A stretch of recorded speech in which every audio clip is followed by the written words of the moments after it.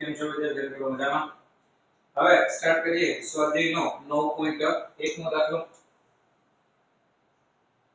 સ્વાધ્યાય 9.1 એટલે કે પ્રથમ દાખલો. 36 સેન્ટીમીટર વક્રતા ત્રિજ્યા ધરાવતા અંતર્ગોળ અરીસાની સામે.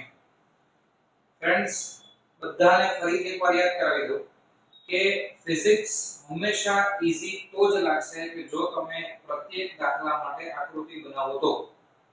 સીધે સીધું રકમ વાંચી અને દાખલો ગણવાનું સ્ટાર્ટ ન કરવું બરાબર? પહેલો દાખલો છે, એટલે રિમાઇન્ડર આપું છું અને આપણી સ્ટાઇલ મુજબ આપણે દરેક માટે એક આભાસી આકૃતિ બનાવવાનો પ્રયત્ન કરશું.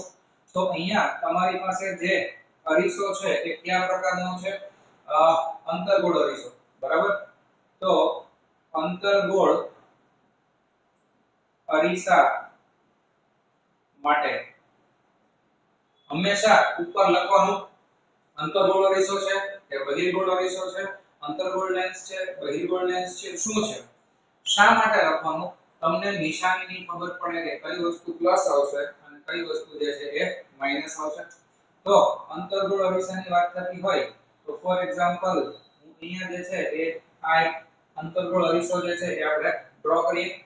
અને અંતર્ગોળ અરીસો છે એટલે આ બાજુથી તમને ઇમેજ મળશે નહીં, તો આ સાઈડ જે છે, એને આપણે કેન્સલ આઉટ કરીએ. ઓકે 36 સેન્ટીમીટરની વક્રતા ત્રિજ્યા છે. ઓલરાઈટ તો અહીંયા જે છે, એ સપોઝ હું લઈ લઉં c. અને c જે છે, એ તમને કેટલું આપેલું છે? 36 સેન્ટીમીટર અહીંયા આવશે ધ્રુવ p. ઓબ્વિયસલી જો 36 સેન્ટીમીટર તમને c આપેલું હોય, તો f જે છે એ કેટલું થઈ જશે? 18 સેન્ટીમીટર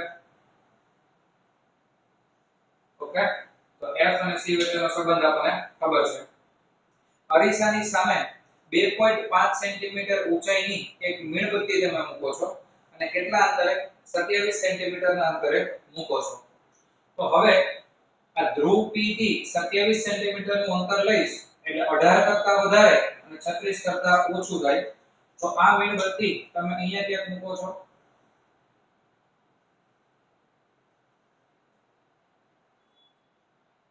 બરાબર? અને આ મીણબત્તી જે છે, એના માટે વસ્તુ અંતર આપણે કહેશું u એના બરાબર 27 સેન્ટીમીટર બરાબર? આ જે f છે સ્મોલ f. તો સ્મોલ f 18 અને વસ્તુ જે છે એ 27 સેન્ટીમીટર ના અંતરે મૂકેલું છે.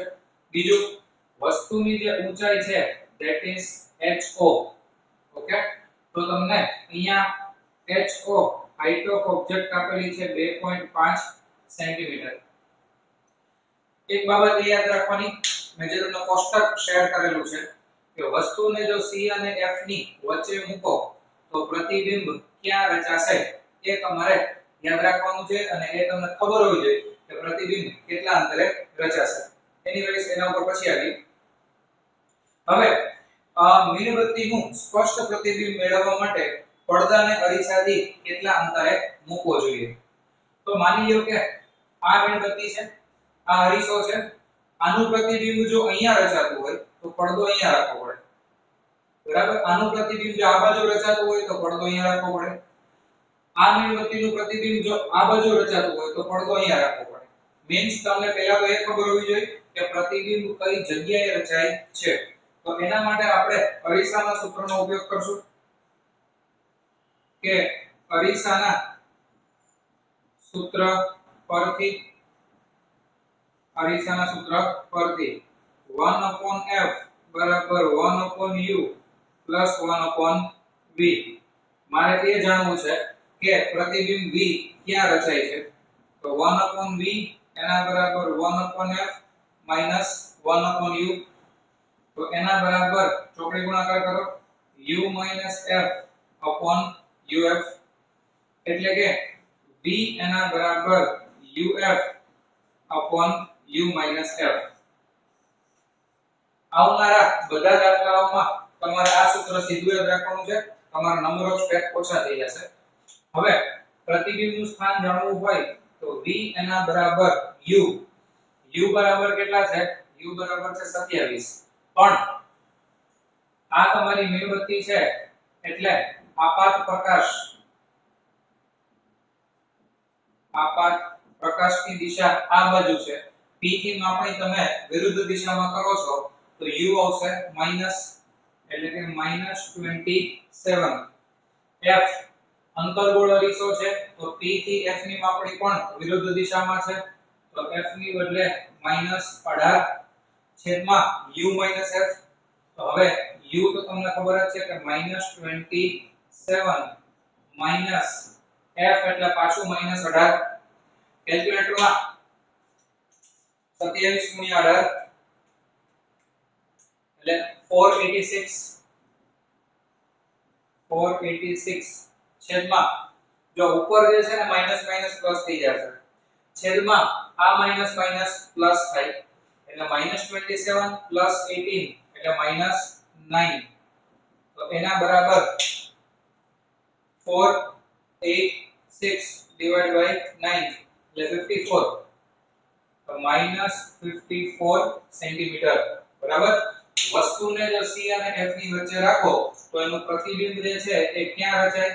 એનું પ્રતિબિંબ c થી દૂર રચાય. એ આપણે કોષ્ટકમાં જોઈ રહ્યા છીએ. તો પ્રતિબિંબ જે છે એ 54 સેન્ટીમીટર પર રચાશે, આનાથી દૂર. તો લખીએ કે તેથી પડદાને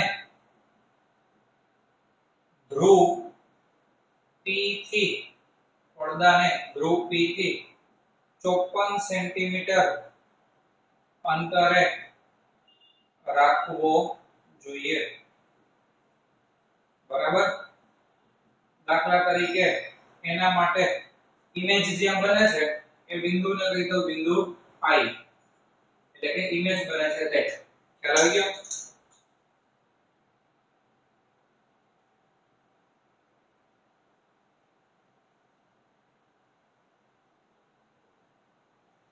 ચાલો, પહેલા પ્રશ્નનો જવાબ મળી ગયો છે કે અરીસાથી કેટલા અંતરે મૂકવો જોઈએ? 54 સેન્ટીમીટર ના અંતરે મૂકવો જોઈએ ડાબી બાજુ. બીજો પ્રશ્ન, પ્રતિબિંબનો પ્રકાર અને ઊંચાઈ જણાવો. હવે પ્રતિબિંબનો પ્રકાર અને ઊંચાઈ તમારે જાણવા હોય, તો કોષ્ટક ઉપરથી તમને ખ્યાલ આવી જાય કે વસ્તુ જો c અને f ની વચ્ચે હશે, બરાબર?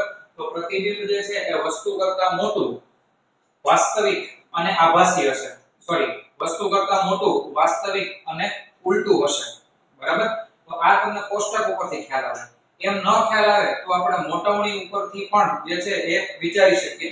સાથે સાથે અહીંયા જે છે પ્રતિબિંબનો પ્રકાર અને ઊંચાઈ બંને કીધેલું છે. તો આપણે શું કહી શકીએ કે મોટવણીનું સૂત્ર ધ્યાનમાં લઈએ. મોટવણી m બરાબર -v u અને hi ho આ બંને સૂત્ર થાય. m બરાબર -v u અને hi ho હું છેલ્લા બેને સરખાવું, તો તેથી તેથી મોટાવણીમાં માઇનસ v એટલે -54 હમણાં જ આપણને મળેલું છે. છેદમાં u એટલે -27 એના બરાબર hi હાઈટ ઓફ ઇમેજ મારે શોધવી છે અને height of object height of object તમને 2.5 આપેલી છે અને ચત્તી છે બરાબર? એટલે 2.5 ક્લિયર રાઈટ હવે આ માઇનસ અને માઇનસ કેટલા થઈ જશે? પ્લસ પણ આ માઇનસ બાકી રહેશે. 54 ના છેદમાં 27 એટલે 2 અને 2 ગુણ્યા 2.5 એટલે 5 તો તેથી hi એના બરાબર -5 સેન્ટીમીટર ઓકે -5 સેન્ટીમીટર નો અર્થ એવો થાય કે આ જો 2.5 સેન્ટીમીટરનું વસ્તુ છે, તો એનું પ્રતિબિંબ એનું પ્રતિબિંબ જે છે એના કરતા ડબલ હશે. એટલે કે hi 5 હશે. ક્લિયર થઈ ગયું? તો hi બરાબર તમને કેટલું મળી ગયું મિત્રો? 5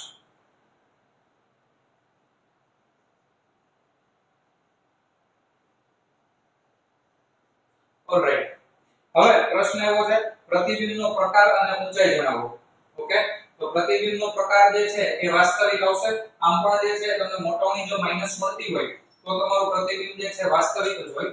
એટલે લખી શકાય કે આમ પ્રતિબિંબ આમ પ્રતિબિંબ વાસ્તવિક ઉલટું તથા વસ્તુ કરતા બે ગણું મોટું મળે છે. બરાબર? તો પ્રશ્ન એવો છે કે પ્રતિબિંબનો પ્રકાર અને ઊંચાઈ. તો પ્રતિબિંબ છે વાસ્તવિક, ઉલટું અને વસ્તુ કરતા બે ગણું મોટું મળે છે. ઊંચાઈ છે, આપણને મળી ગઈ છે -5 સેન્ટીમીટર જો મીણબત્તીને અરીસાથી નજીક ખસેડવામાં આવે, તો પડદાને ક્યાં ખસેડવો પડે? જો મીણબત્તીને તમે જે છે એ શું કરો છો? કે નજીક લઈ જાઓ છો. તો જ્યાં સુધી મીણબત્તી F થી નજીક આવશે, બરાબર? વસ્તુને જો તમે C થી F ની વચ્ચે ખસેડો, F તરફ, તો તમારું પ્રતિબિંબ જે છે એ દૂર ને દૂર જાતું જાય. વસ્તુ જ્યારે F ઉપર આવે, ત્યારે પ્રતિબિંબ અનંત અંતરે હશે પણ જો વસ્તુ તમે F અને P ની વચ્ચે લઈ આવો, તો પ્રતિબિંબ જે છે એ ક્યાં જતું રહેશે? અરીસાની પાછળ, જે આભાસી પ્રકારનું પ્રતિબિંબ હશે. બરાબર? તો અહીંયા લખીએ આપણે કે જો વસ્તુને F તરફ ખસેડવામાં આવે તો પ્રતિબિંબ સી થી દૂર જશે અને પડદાને ડાબી બાજુ ખસેડવો પડે. પડદાને ડાબી બાજુ ખસેડવો પડે. અહીંયાથી પણ દૂર. પણ જો વસ્તુને તમે F થી P સુધી લઈ જાઓ. પરંતુ વસ્તુને F થી P લઈ જતા પ્રતિબિંબ અરીસાની પાછળ મળશે જે આભાસી પ્રકારનું તથા ચત્તુ હશે. હવે તમે વિચાર કરો કે જો P થી F સુધી જઈએ તો પ્રતિબિંબ અરીસાની પાછળ મળે છે જે આભાસી અને ચતુ હશે.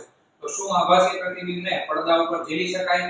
કે ન ઝીલી શકાય એ તમારે વિચાર કરવાનો છે. ઓકે આશા રાખું છું કે સમજાઈ ગયું છે થેન્ક યુ